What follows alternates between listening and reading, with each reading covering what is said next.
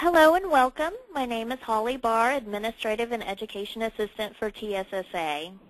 First off, we'd like to extend thanks to our sponsor, Watson & Taylor, for underwriting this event and keeping our webinar costs low. Our speaker today is Ann Pritchard Grady. She is President of Acclivity Performance. Ann holds a master's degree in organizational communication and is a nationally recognized speaker, facilitator, consultant, and coach. She has taught at colleges and universities and helped lead organizations and improve communication skills in a variety of settings. Today, Ann is going to give us practical advice on how to deal with difficult customers in a productive way. We'll learn about a variety of personality traits and how to deal with each one differently and effectively. Welcome, Ann. Thank you so much, Holly. Thank you for having me, and hello, everybody. Welcome.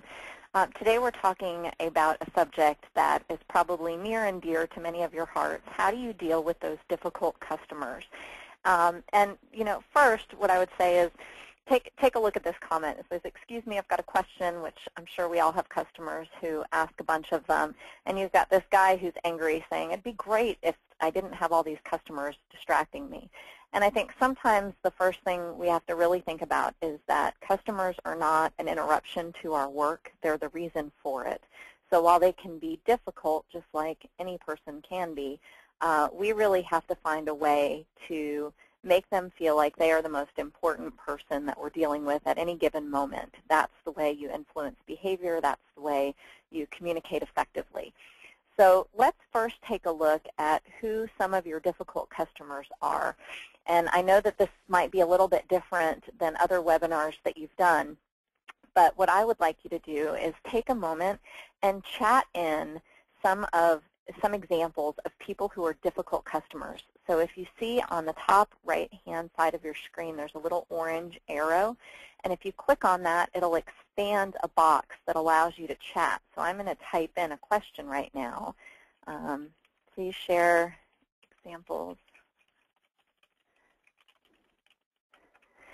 I just typed in a, a question. Um, let's see. I'm going to send it to everyone. Actually, um, Holly, for me, it only lets me send it to the organizers and to the staff, but other folks are going to be able to send it in to everybody. So what I'd like you to do is under that little box where it says chat, um, go ahead and chat in your questions but also chat in examples of difficult customers that you're having to experience so that I can answer those as we go through the webinar. Um, to the entire audience, Holly just put in you can chat here. So um, folks, please go ahead and enter in examples of difficult customers that you deal with or difficult situations that you deal with. And I, won't say your name, but I can certainly answer them as we're on the call. Um, for some people, difficult customers are the ones who are just in your face, screaming, yelling, being really frustrated. For others, it's customers who have no idea what they want and they're completely indecisive and change their mind. Um, I got a chat in here that says the angry customer that specifically tries to make you angry by making stories up and lying. So there are some folks who just resort to um, really just getting in your face or making things up, others who are fighting with a spouse and you become the middleman. Um, you know, why is my bill so much every month? There are these late fees. I don't understand it. They argue everything. They question everything. Others just seem frustrated with the world and they can't seem to um, manage their own emotions.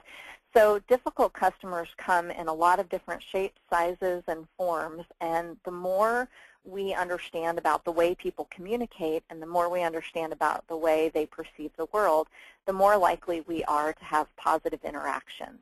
So please keep chatting in questions and difficult types of customers, and I'll keep um, viewing the chat box as I go and, and responding to those. I really appreciate your participation. So let's first look at a few scenarios that leave customers feeling frustrated.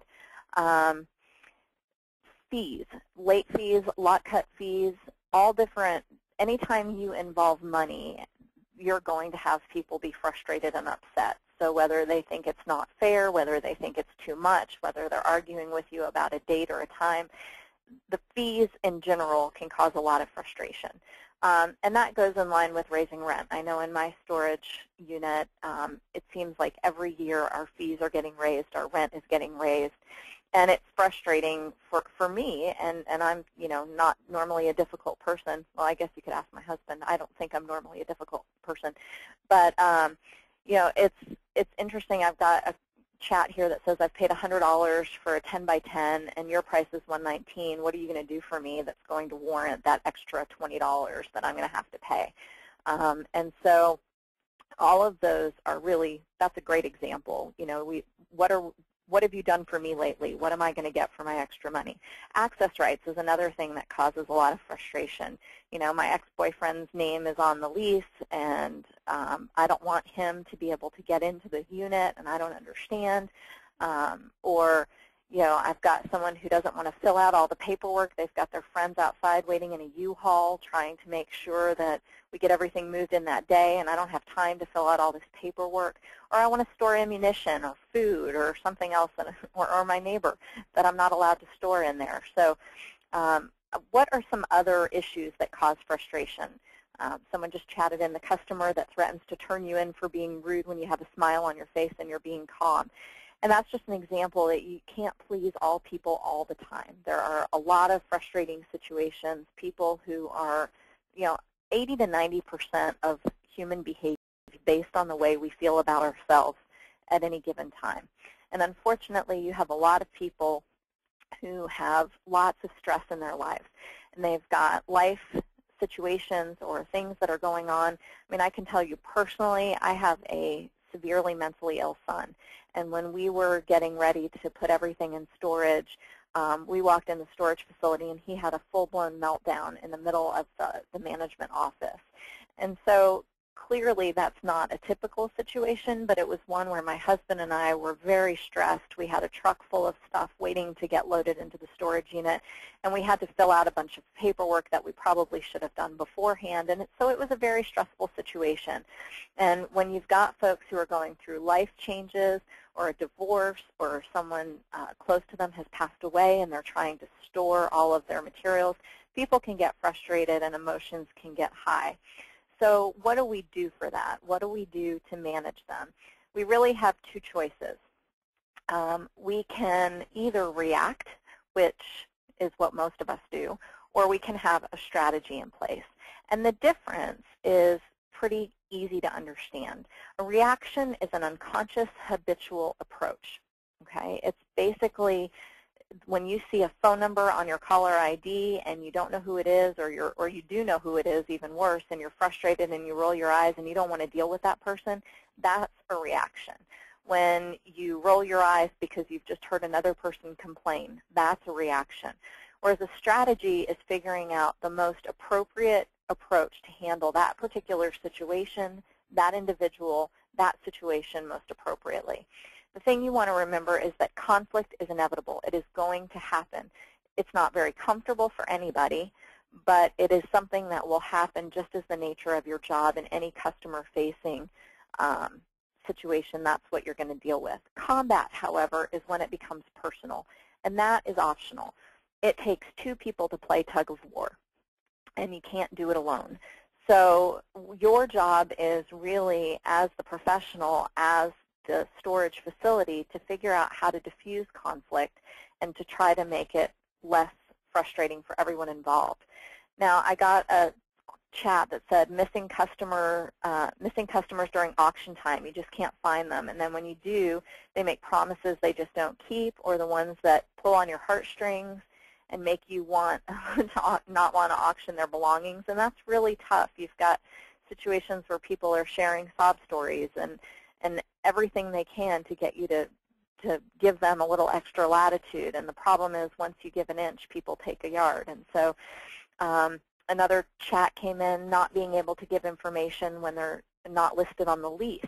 So if you've got somebody who says, well, I'm you know, Bambi's spouse, and I need to understand what we've got in here, and I need to get in there, um, you simply can't do it. It's against the law. So and against the lease agreement. So are, these are all great examples of difficult customer situations and things that could lead to conflict. And again, conflict is inevitable. It is when it's about an issue. Combat is when it becomes personal. So I want you to take a second and look at this picture and tell me what you see. Type in if you see a young lady or an old lady. So take a minute to look at this picture, and in that chat box, again, if you can't see the chat box, there's a small orange arrow at the top right-hand corner of your screen. If you click on that, it'll expand your chat box. Go ahead and chat in, do you see an old lady, a young lady, or both? So we've got someone who sees a young lady. Go ahead and chat in, do you see a young lady, an old lady, or both? I'll give you just a second to chat them in.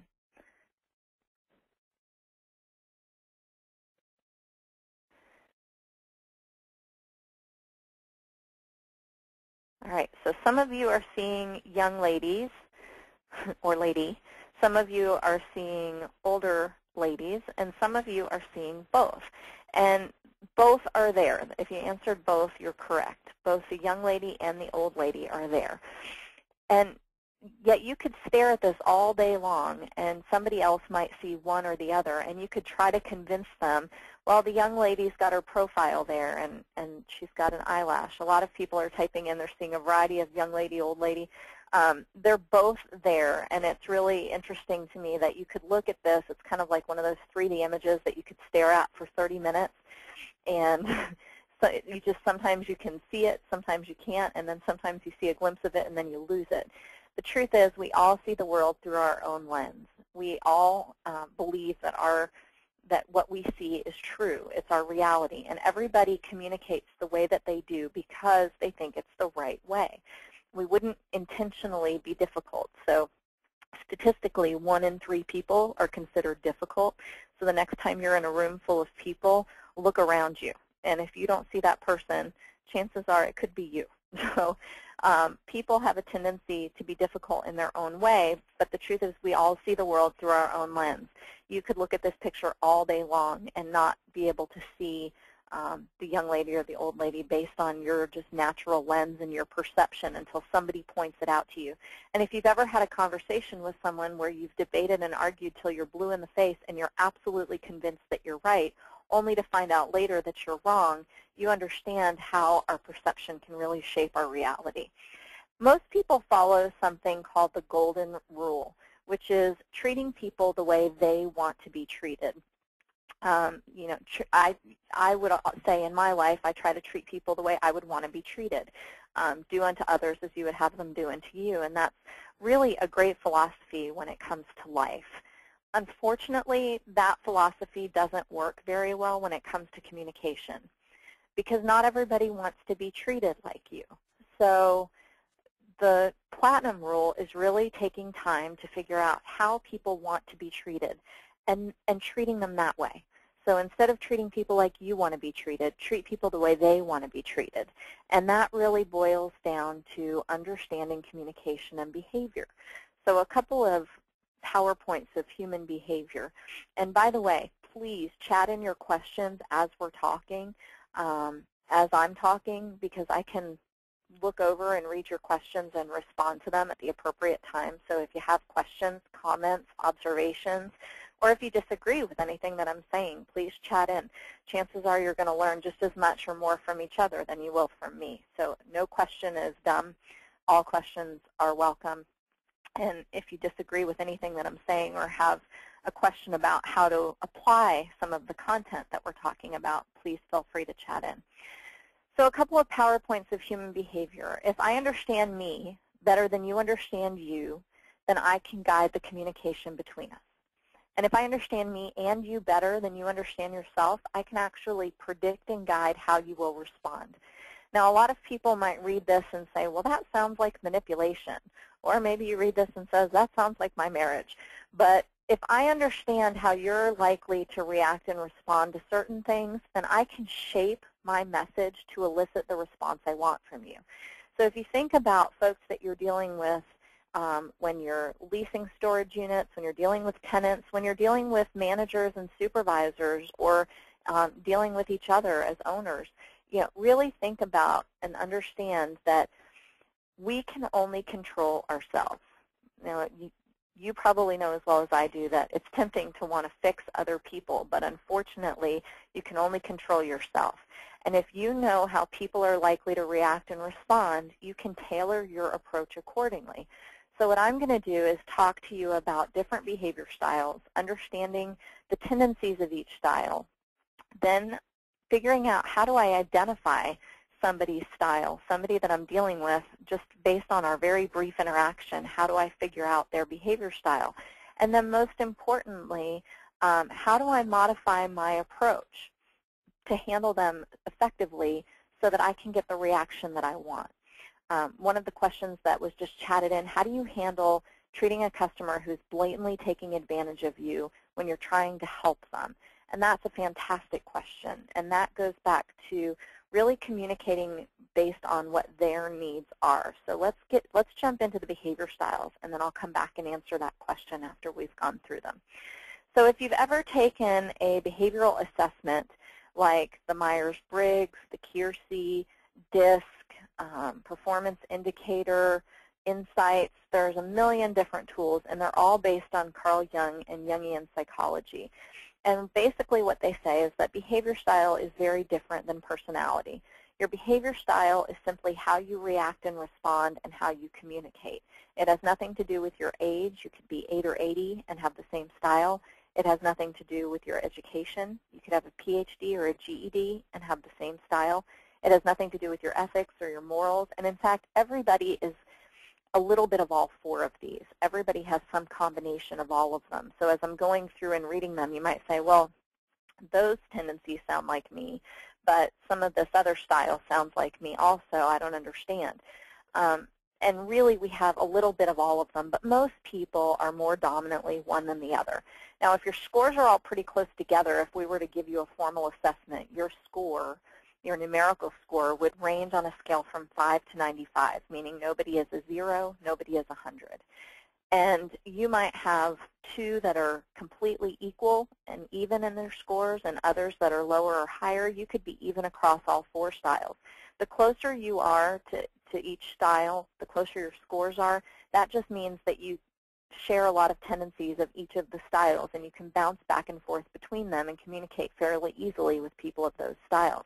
The downside if your scores are fairly close together is that you're most likely not very consistent. So people don't necessarily know how to tell your style, how to communicate with you, or which version of you they're going to get based on the, the day, the time, the situation. Now my scores, for example, are very far apart. I have two styles that are very close together. My driver and expressive are very close together, but they're super high. And my amiable and analytical scores are very, very low. What that means is that I'm consistent. Usually people know what version of me they're going to get on any given day. I'm either driver or expressive. I bounce between them without even knowing that I'm doing it. I have to work very, very hard to be amiable and analytical because those scores are so much lower. And I can do it for about an hour and a half to two hours. So anytime we're forced to modify our style for long periods of time, we get tired. And just like when you're you know, exercising, you can't wait to be done and stop. The same thing holds true with when you're flexing your style. Uh, it's just like a muscle. The more you practice it, the better it gets, the easier it gets. But it's exhausting and it's tiring to try to come out of your comfort zone. Um, fortunately or unfortunately, you are in a customer service business. So the, the real thing I want you to take away is that it is 100% your responsibility to modify your approach, regardless of the customer's style. And that might not seem fair, it might not seem right, but it is what it is, and you can't control anybody else. So the number one concept that I would want you to take away, if you get nothing else from today's webinar, is the question, am I trying to be right or am I trying to get it right? Because your job in providing exceptional service and dealing with difficult customers is to focus on getting it right, not being right. I just got a chat question that said, is that why when we spend time with certain people we get so tired because we're exercising a certain type of communication that doesn't resonate with us? Absolutely. It's the reason when you're dealing with certain people, you feel like a Hoover vacuum has just sucked the life force from your body. It's the reason why when you're doing certain tasks, you feel exhausted, whereas other tasks can give you energy. Um, and that really is a lot of our communication boils down to our style. Now, if you think about the picture of the young lady and the old lady, we think we're right. Whatever version we see, we think we're right. Well, the same is true with communication. We communicate the way we do because we think it's right. We wouldn't intentionally communicate that way if we think it's wrong. So you've got customers who communicate in their own natural style, but who most likely don't understand these styles, don't understand why they're communicating that way. That's just what they've always known. And so your job is to, A, take a moment to recognize their style for what it is, not judge it right or wrong, good or bad. It just kind of is what it is. Then to figure out how do I, knowing this, how do I modify the way I approach this person? So let's go through each of the styles, and then we'll talk about combinations and how you can identify people's style. So the first style are drivers. These are the customers who are kind of in your face. They tend to be very loud, assertive. They're all about um, getting things done quickly. They walk fast, they talk fast, they eat fast, they multitask, they do a million things at once. They're all about like how can I get the fastest, best result possible. I don't have time to chit-chat. I don't have time to um, hear stories. I don't have time to read the lease agreement. I just want to get in, get out, get on my way. They live by the 3B philosophy, be brief, be bright, be gone. Um, they just really want to get stuff done. They're typically pretty competitive. They're very decisive. They make very quick decisions. So you might give them a couple of size choices, whereas some people would want to say, well, let me go home and measure everything I have and let me think about it. A driver's just like, I'll take a 10 by 10 and that's it. Hurry up, let's go. Um, they don't like wasting time or energy. They don't like being out of control. They're very impatient. They get angry very quickly, and they can appear pretty insensitive. So for some folks, these are the most difficult types of customers because they are very strong-willed. They are very assertive. When they're stressed out, they're aggressive. Um, and they're always focused on how can we just get this done quicker, faster, easier, better. I don't have time for this. Um, in my estimation, drivers are one of the easier types of customers because you never have to read their mind. They will always tell you what they're thinking, what they're feeling, if they're frustrated, if they're angry. And it might not be fun to hear that they're frustrated or angry, but at least you can do something about it. So your drivers are very fast-paced, control-oriented, want what they want when they want it, um, not afraid to argue or speak up, very assertive. When they get stressed out, they get aggressive. Next style is expressive, and expressives tend to come in and tell you everything about themselves from you know, the time they were born until they are renting this storage unit. They want you to know why they're renting it, what they're putting in there. They'll share about their family. They'll even show you pictures sometimes. They really are very interactive and, and want to be liked and want to verbalize and talk with you and build a relationship. So um, for expressives, they tend to not be very detail-oriented, just like drivers. The same holds true for drivers, not very detail-oriented. They'll just skim through the lease agreement and sign it and then argue about it later. Um, they appear very disorganized and scattered. They're usually pretty happy and jovial, but they can also be extremely emotional. So if it's a difficult time and they're running a storage facility because of a death or a loss of a loved one, they become very emotional. Expressives tend to be more impulsive and more emotional in their decisions. So just like drivers, they're very big picture focused. Just like drivers, they're very fast-paced and impatient. The difference is that drivers are all about just get it done, and expressives are about let's build a relationship while we get it done. Then you've got amiables. Now, these are the folks that will not tell you anything's wrong because they don't like conflict or confrontation. Amiables are very calm, quiet, patient.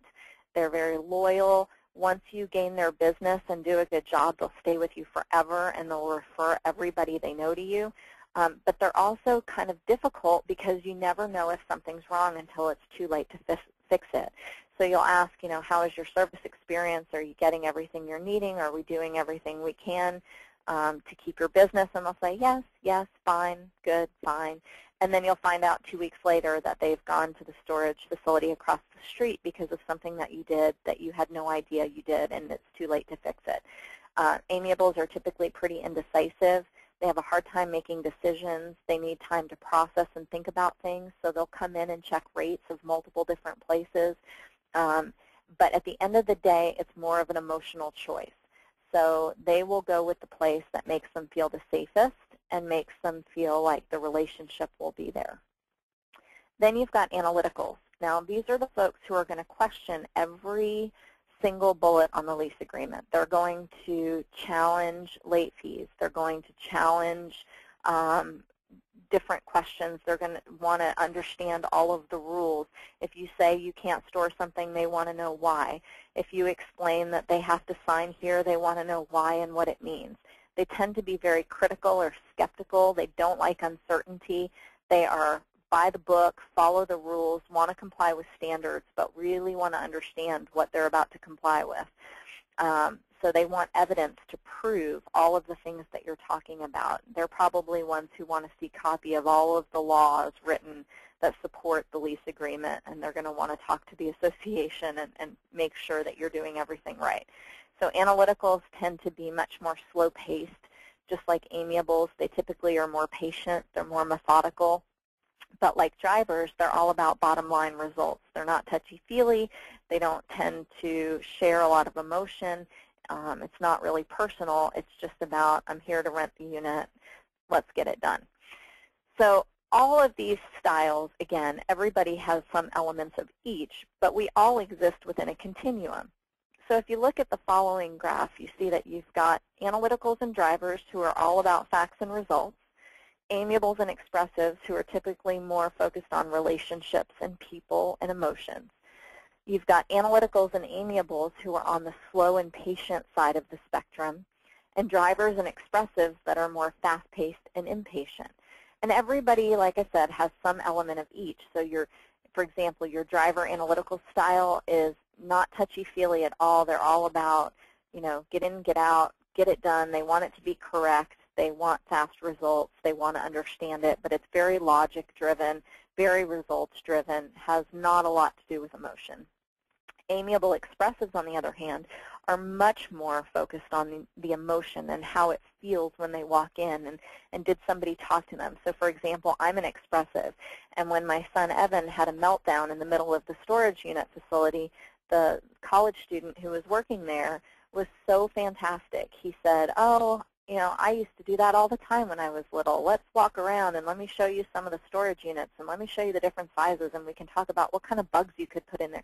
Not not really that we were going to store bugs, but my son loves bugs and lizards and he had a big picture of a bug on his shirt and so the the young college student who was working at the storage facility really engaged him. And that, as an expressive, made me want to rent there because it was about a feeling. It was about that he was trying to do something nice. It had nothing to do, you know, quite honestly, the place down the street probably was a little bit less expensive and had the same security features and the same benefits. But at the end of the day, as an expressive, I went with the company that made me feel good. So amiables and expressives are generally more about relationships. Then you've got the analytical amiable. So this person is um, able to balance the facts and the relationships, but they're very slow-paced. They want a lot of time to process. They're going to go to a dozen storage facilities and analyze and compare all of the different features and benefits and costs of each. Drivers and expressives are very, very fast-paced, very impatient. Um, I went to one storage facility, um, didn't compare costs, at all, just had a good experience there and said, okay, great, we'll take it. Didn't know what size I needed, didn't, wasn't even sure what I was going to store, just this sounds good, let's go for it. And it was more of an emotional, fast-paced decision. Then you've got the driver amiable combination and the analytical expressive combination, and those are a little bit harder to spot. But basically, you're looking for predominant style. So let's talk about how you deal with and engage customers that are each of those styles. So with drivers, you really want to be clear, brief, get to the point. Get in, get out, help them get on their way. They don't want to talk about stories. They don't want to share about their family. They're typically very strong personalities. Um, they want to be in control. So give them choices that let them ultimately be in control. Now, your drivers are most likely going to be the ones in your face that are yelling at you the best thing you can do for a driver is to give them the illusion of control. And I say illusion because you give them a couple of options that they can live with. For example, I'm not happy with the price. This is ridiculous. I can go somewhere else. What are you going to do for me? This is just blah, blah, blah, blah, blah, blah.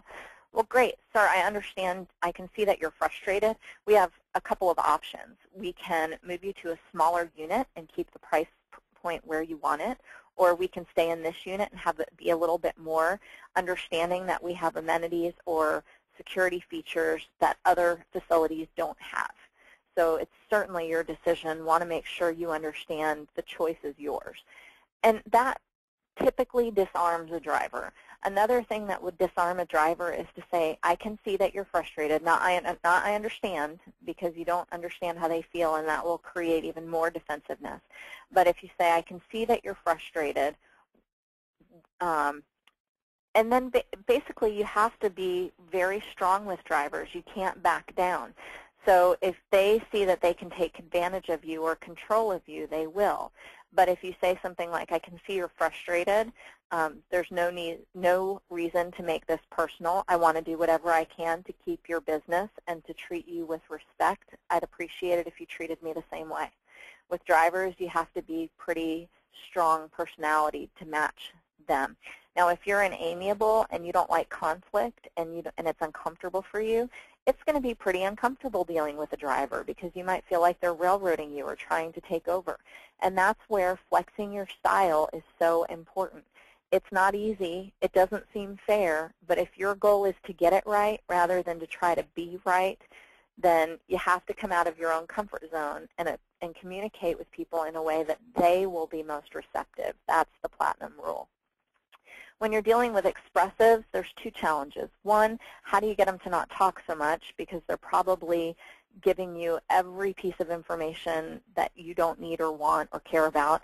And two, they can get very emotional, and so they try to be very persuasive, and, and they tend to exaggerate so they might tell you another storage facility down the street is waiving the first month's rent or giving their truck for free and waiving the first month's rent. And you've got to really decipher what's accurate, what's not. Um, be careful with expressives. Make sure you put everything in writing. Make sure that you go over the lease agreement.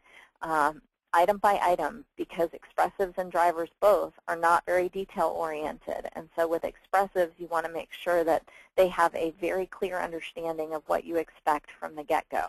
You have to take some time and listen to them um, and let them kind of talk because, again, relationships are very important to them. Next, how do you deal with an amiable? Be calm. Don't expect an immediate answer give them time to process, time to think. Don't be pushy. If you've got an amiable that says they want to check out different rates and compare different facilities, great. Let them know that you're not going anywhere, that you're there. They're typically not going to challenge you. They're not going to be combative. They're the customers who you don't know if something's wrong until it's too late to fix it. So for them, you have to ask a lot of open-ended questions and probe. Um, what other storage facilities have you looked at? What are the things that you like about each of them? What are, if you could wave your wand and have a perfect facility and a perfect service experience, what would that look like? Really try to um, elicit uh, opinions from them and get them to share information. They want a lot of personal assurances and guarantees. They need time to think and process, and they really appreciate if you're trying to be cooperative rather than combative. Next, you've got analytical customers. With them, understand they're not trying to be difficult. They're just really trying to understand. So take your time to answer all of their questions without getting frustrated. If they challenge you, understand they're not trying to be difficult. They're just trying to understand. So don't get frustrated. Just show them um, where the information can be found or where they can get additional information if they're curious. Provide them with the data, the facts, the evidence, and give them plenty of time and space to make a decision. So make sure you give them lots of paperwork and demonstrate that you respect them by not pressuring them or getting frustrated at their questions. So one of the questions that we got before in the chat box was how do you handle a customer who's blatantly taking advantage of you when you're trying to help them out? Well, one of the things that you can do is understand your own style and your own tendencies and understand what motivates people. So for example, drivers hate feeling like they're being taken advantage of. That's a big demotivator for drivers. Um, if they feel like they're being taken advantage of, they will become aggressive.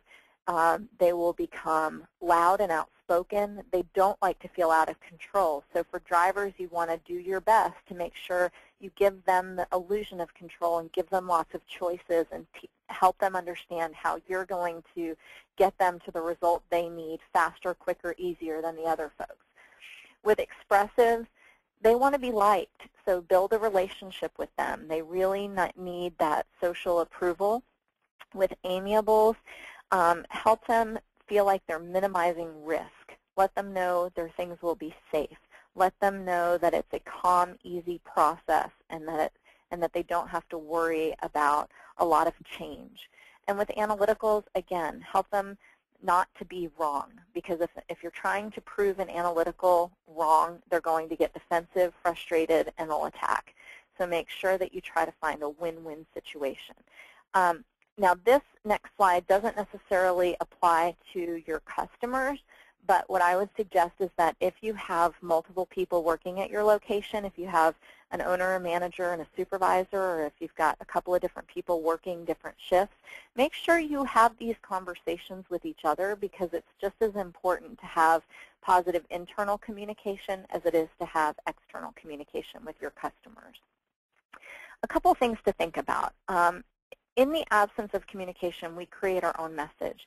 So if you don't communicate everything in the lease agreement, or if you don't communicate your expectations, people will fill in the blanks, and they're usually not correct.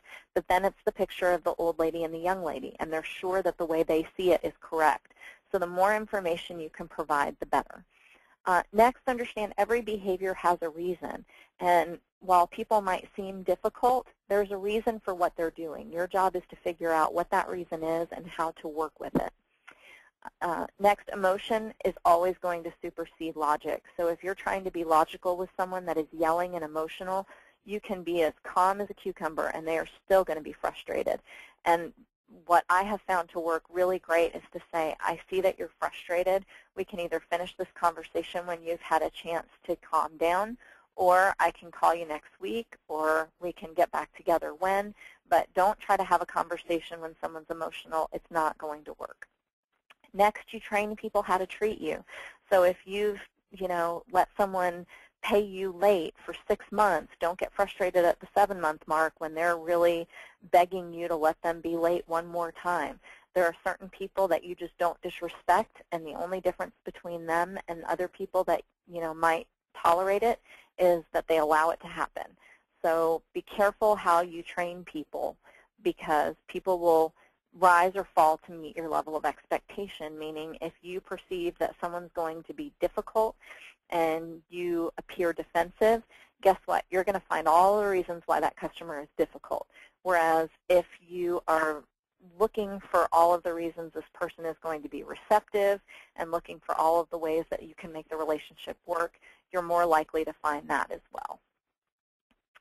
Next, if you're in a difficult situation, there are a few things that you can do to diffuse it. Um, first, listen actively, and what that means is don't try to think about what you're going to say while you're while they're talking. You can't listen and process your own message at the same time. Really listen, ask questions, try to understand, use eye contact. If you're over the phone, stay silent and don't interrupt because people feel like they're not being heard when interrupted and that creates defensiveness. Ask questions.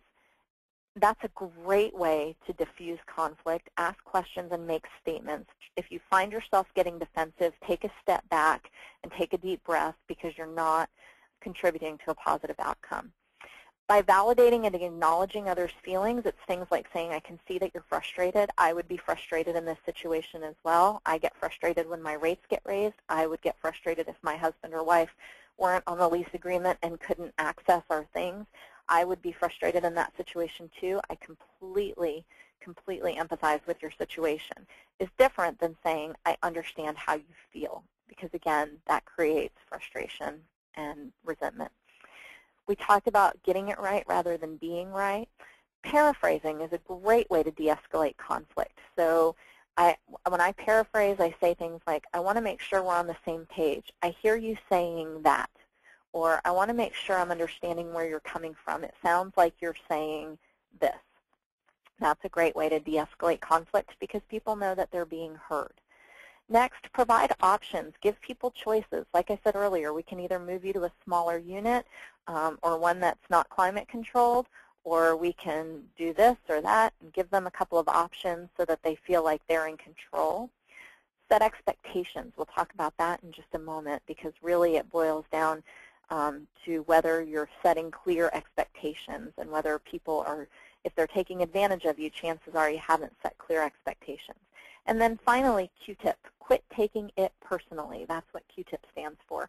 Again, people have so many things going on in their lives. Um, it very rarely has anything to do with you if you've got an upset or an irate customer. It may seem on the surface like they're upset about their rent being raised or not being able to get access to the, their things if they're not on the lease agreement.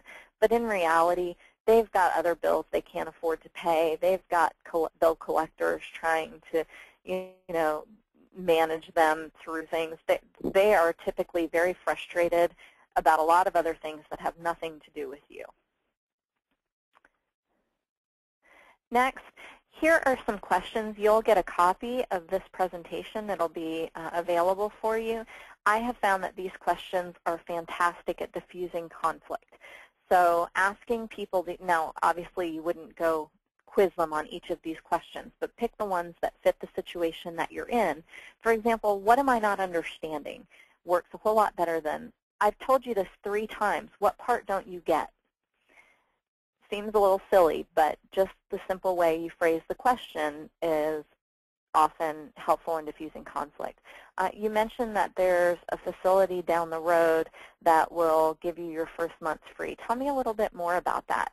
And they might say, well, yeah, they said that they'd give me my first month free and you won't. And you might say, well, you're, you're exactly right. What they didn't tell you is that they'll charge you double if you, you know, make a late payment or, you know, they'll, you can give them other information but let them tell you about it because that makes them feel better and reduces defensiveness. All right. Really, the whole, it all boils down to expectations. So um, we had a client who had four nephews come to visit her for a weekend, and she was saying that every time they came to visit her, they would always misbehave horribly. And so she made finally a poster that said, here are my expectations for your behavior. And they're all little boys under the age of 10. So her expectations were things like no biting, scratching, kicking, peeing in the pool, jumping off the roof. And she said, here's what an A player would do. An A player would not only follow these rules, they would lead by example and make sure other people were doing, other kids that were behaving the right way also. B players will do what you know they say they're going to do, but you always kind of have to remind them.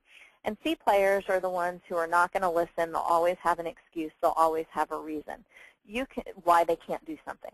Now, you can probably relate to having customers that meet each of these criteria. You have your A players who are on time. They, they pay correctly each month. They're easy to deal with. They never break the rules. You wish you could clone them and have all of your um, tenants behave like that. Your B players are the ones where you might have to give them a couple of reminders, but they typically do what they need to do. And your C players are the ones who are calling you every month saying, I can't make the rent this month. Could you please give me an extension?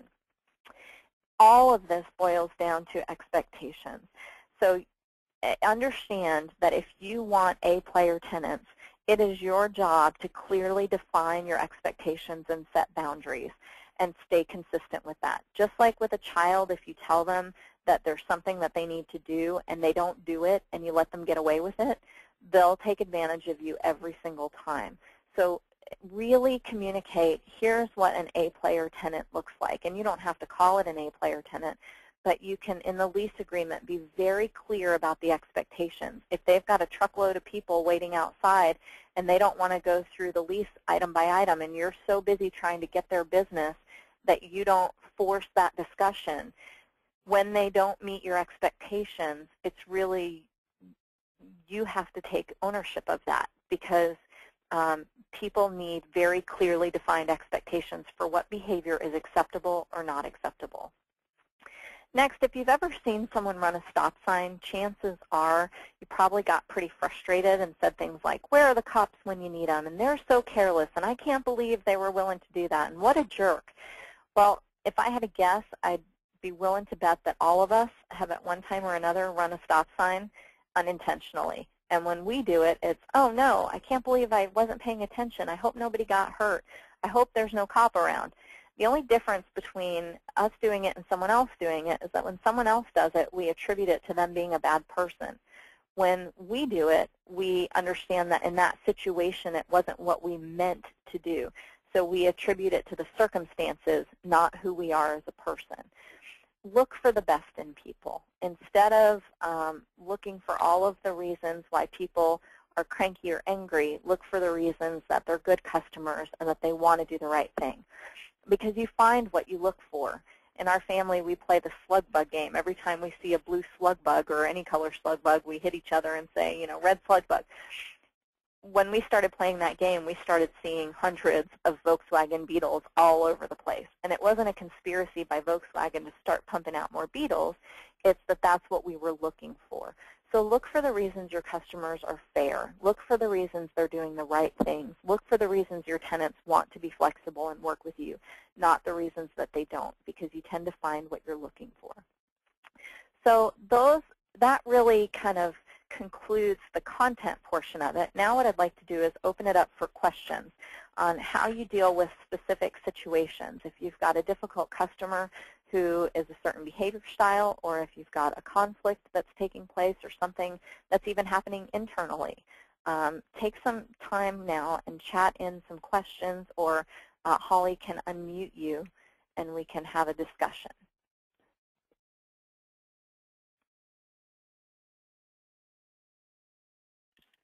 See what kind of questions we're going to get. So far, we're not getting too many questions come in, but in your opinion, what would be the best type of, or the easiest type of personality style to deal with? Do you have one? I think it depends on your style. So as a driver and expressive, typically I deal well with other drivers and expressives because I understand the way they think um, mm -hmm. because that's the way I think. So I'm able to modify my approach more easily. Um, I think depending on your behavior style, it will determine what types of people are more difficult for you than others. For example, amiables and analyticals are typically very difficult for me because when an amiable is not giving me information or not sharing how they really feel or they're being passive aggressive, I get really frustrated. Or if an analytical is challenging me, um, my expressive style comes out and I tend to take it personally um, rather than understanding. They're just trying to ask questions to understand. So I think it really depends on your own individual style as to what behavior style is most difficult or easy for you.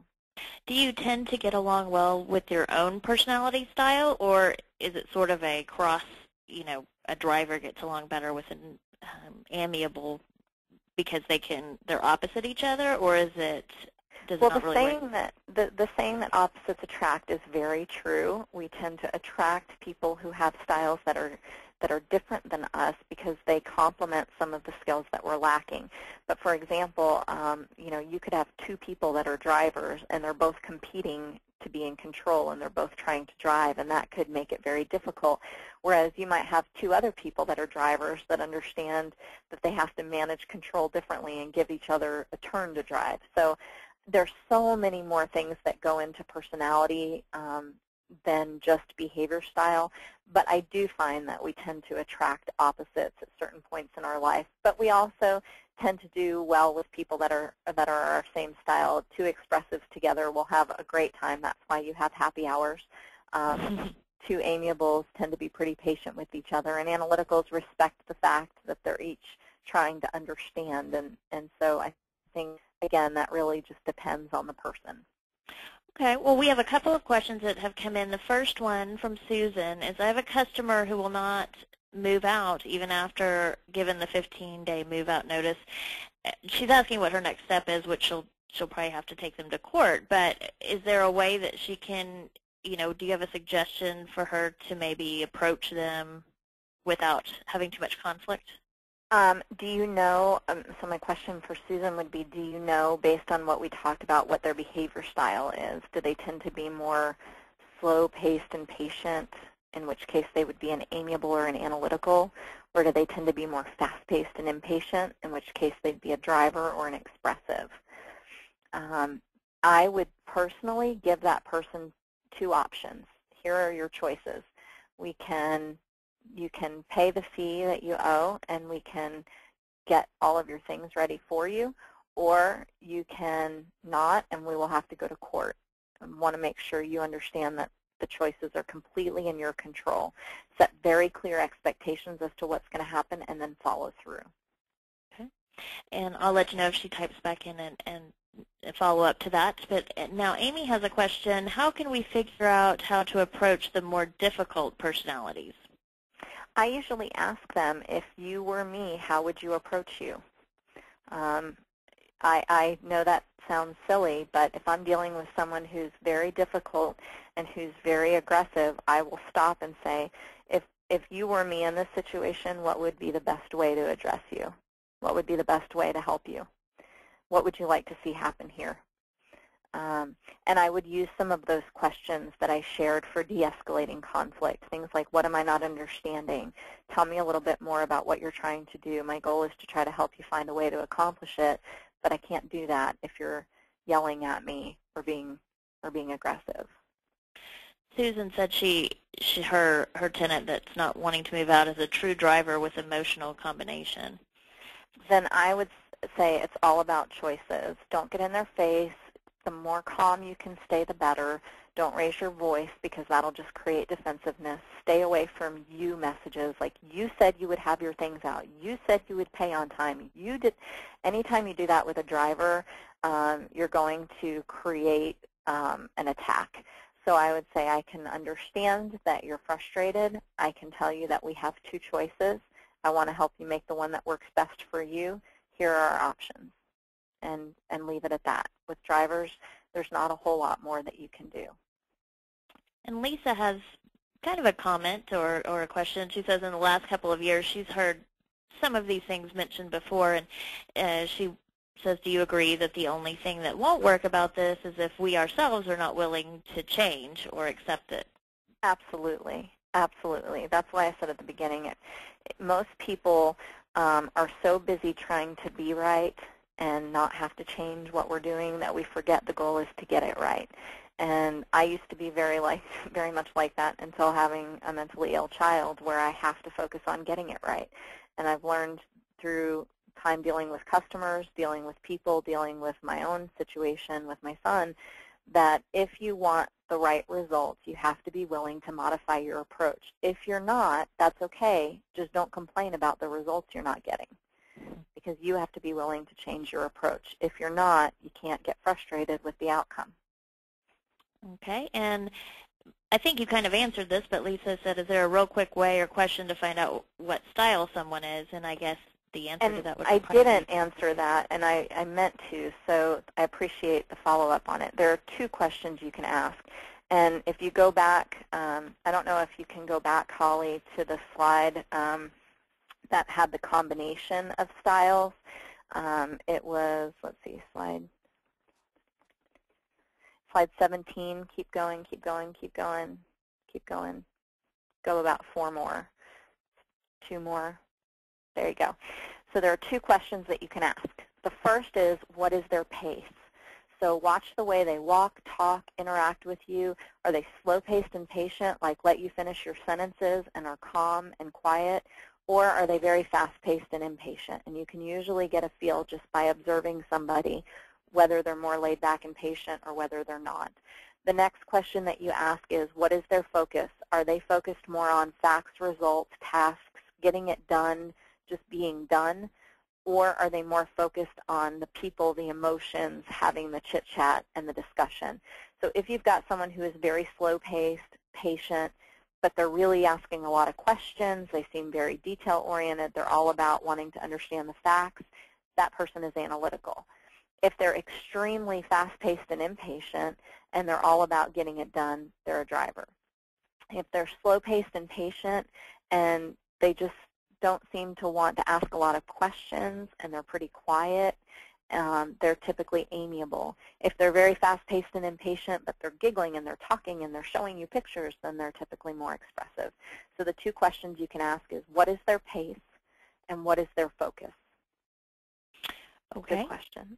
And the next one is from Connie, and she says, how do you deal with a customer that avoids phone calls and they promise to come in on certain days and they just don't show up? Uh, how you know, how would you at first approach that, I guess? What's the first step? I would leave a voicemail, again, with options and really clarify expectations at that point. Um, so if you've got someone who's avoiding phone calls, I would make a few attempts. I would understand that people are busy, but if you get to a point where you've made five or six different attempts and you still can't get a hold of that person, I would send a letter and leave a voicemail or an email say, um, unfortunately, we've been un unable to reach you. We have a couple of options. Here's, here's the challenge that we are facing, and here are a couple of options. Please let me know which, how you'd like to proceed. You can either call me or come in. Um, or email me back. And so I would, I would give people choices and make it very clear what the outcome will be with each of those choices, the positive and negative consequences. So if you choose to come in or call me back, here's what's going to happen. If you don't, here's what's going to happen, and make sure that they understand what they can expect so there are no surprises. Okay. And Holly is asking, what do you do with the people who simply refuse to give you a good address and they, they lie to you all the time? And how do you really deal with not taking the lies personally? That's a hard, hard thing to do. It is very hard to do, um, and I haven't figured it out yet. As an expressive, I tend to take a lot of things personally, so unfortunately, I can't give you a whole lot of advice um, on that, but I would say that it's not about you, that they have other things going on in their lives that are impacting the way they're handling you. And so I would I would be more careful on the front end with who I choose to accept as a customer. I know we all want the sale. I know times are tough.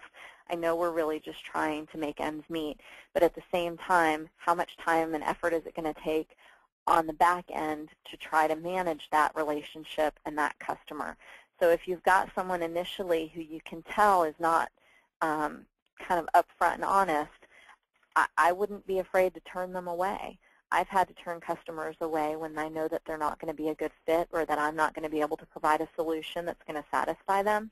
And I think sometimes we're so um, we, we, we're so afraid to lose the sale that we don't necessarily do what we need to do to protect ourselves on the front end. Okay, and then I have a couple of people asking where they can go to take these tests that will help them understand more about their own personality or communication style. Do you have any recommendations for that? Yeah, you can Google um, behavioral assessment. You can Google free personality test or free behavior assessment, and there are a bunch of different you know tools online that you can take. Some of them for a fee, some of them are not. If you want a more in-depth report with more information on how to manage each of the styles, um, you want to look at something called the Profiles Performance Indicator uh, or the DISC. And if people want to contact me, I can help them figure out how to do that, how to get those. They're generally between 50 and $100 a piece. If you want to go online and Google free behavioral assessment, you might be able to find the colors or an animal assessment where you can go through and take those.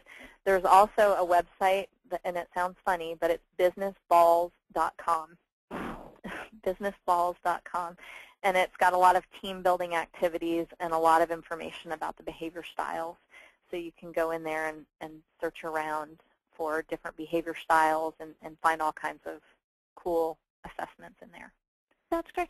Amy wanted to know um, how to what resources that you have to figure out how to handle other uh, styles not similar to your own. And I just wanted to mention to everyone that we are going to send, um, Ann has been kind enough to provide us with a little cheat sheet on the personality types and how to handle them. And you'll get that with the of the webinar after the webinar. So. And there's also a resource page on my website um, that lists books that can help you do that as well. Okay. And finally, I wanted to offer every Monday morning I send out a blog. Um, sometimes communication, sometimes it's on leadership or productivity or getting the behavior that you want from others. it's not always directly addressing customer issues, but it's always a kind of a pick-me-up with a skill or a technique. And if you'd like to receive a free copy of that Monday mornings, you can go to my website and sign up for the weekly motivation. And uh, it's not used as a marketing tool. It's simply there to be a, a resource for you. Great. Now, Amy asked another question. She wants to know, what if a tenant gives you an answer that's just not feasible? Should you just give different options, or is there a different suggestion you may have? Um, I would simply say that, unfortunately, that's not an option. Here are the two options, and I would provide two options that you can live with, um, two or three options that you can live with. Make one of them completely unrealistic and that you know that they won't explore, um, make one something that you'd love to see happen, and make one something that you can live with. Okay. And how do you politely end a conversation with a customer who is extremely talkative and demanding of your attention and time, and how do you kind of cut them off without being rude? They're an expressive, so I would say, you know, I could sit here and talk to you all day long, but I have got so much I've got to get done. Um, I really appreciate your business and would love to continue the conversation next time I see you. I hope you have a fantastic day. Either that or I would um, let them know right when they start talking. You know, I just wanted to give you a heads up. I've got another call that I've got to make or another, um, I've got to go do a, a walk the site in 10 minutes or do something, you know, say I've got about five minutes left until I need to go do something else um, so that when you do have to cut them off, it doesn't appear rude or disingenuous. And Holly wants to know how, how do I refuse a customer without making them angry? Um, well, I appreciate the fact that you want to do business with us, and um, unfortunately, I'm not sure that we're going to be able to meet your expectations or that you're going to be able to meet ours. I'm happy to refer you to a couple of other facilities that might be a better fit. Good. And eh, Lisa wants to know, do you, do you have a real quick positive result to get your feelings off your chest when someone has hurt your feelings? Is there a, maybe a technique that you could share uh, to do that? And Lisa also wanted to know your website, and I wanted to let her know that we will be putting that on at the last slide during the webinar, and she'll get that uh, as well. Everyone will get that after the, the presentation is over. Okay, so uh, my website is acclivityperformance.com, and you'll get that, but it's it's A-C-C-L-I-V-I-T-Y performance.com. And um, what was the other question, Holly? A quick uh, positive way to get your feelings off your chest when, when someone's hurt your feelings, when you're, maybe you're just, you know, to try not to. I would say, I know you. I know this wasn't intentional. Um, I, I understand this wasn't intentional. Can I give you some feedback, though, about the way that, that came across or the way it made me feel? Okay. Let's see. I'm just trying to read through the questions real quick. We call um, we call ourselves when we want to have a customer leave when the phone rings, they normally leave.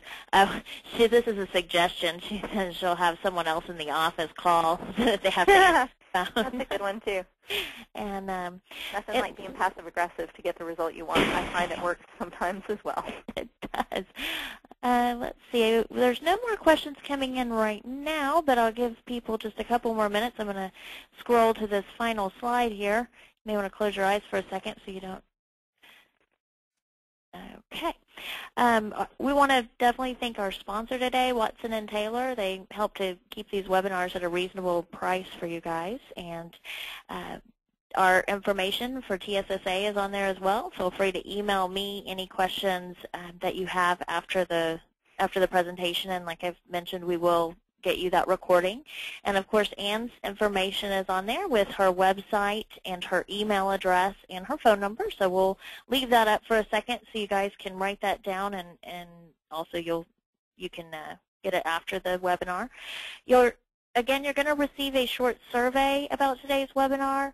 Please take a moment to answer that from the level of questions I think you everyone has enjoyed themselves, and I, I hope you'll uh, give us some feedback on that Remember, folks, I'm expressive, so I need to know that you like me and I'm good enough and that I did an okay job. So Please I think you did a wonderful job, Ann. So, Thank you, everyone, for con- attending today. That concludes our webinar, and I hope to um, see you all in another one. Thank you.